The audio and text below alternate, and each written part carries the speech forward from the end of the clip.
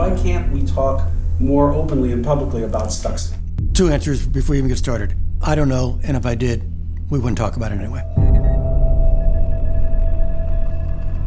Something as simple and innocuous as this becomes a challenge for all of us to maintain accountability control of our critical infrastructure systems. This actually contains the Stuxnet virus.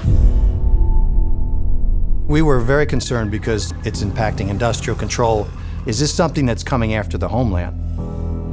If you get up in the morning and turn off your alarm and make coffee, power plants, power grids, and pump gas, transportation, telecommunication, and use the ATM, you've touched industrial control systems. It's what powers our lives. Most of these systems are relatively easy for a sophisticated hacker to get into.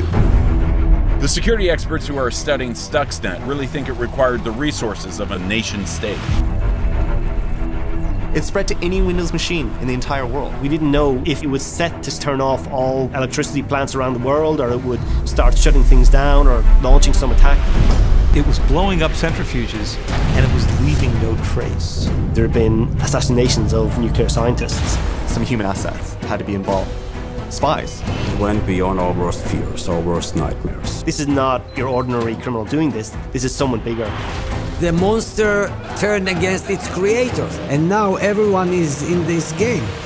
The most extensive attack on American banks ever, launched from the Middle East, happening right now. This has the whiff of August 1945. Somebody just used a new weapon, and this weapon will not be put back into the box. The science fiction cyber war scenario is here.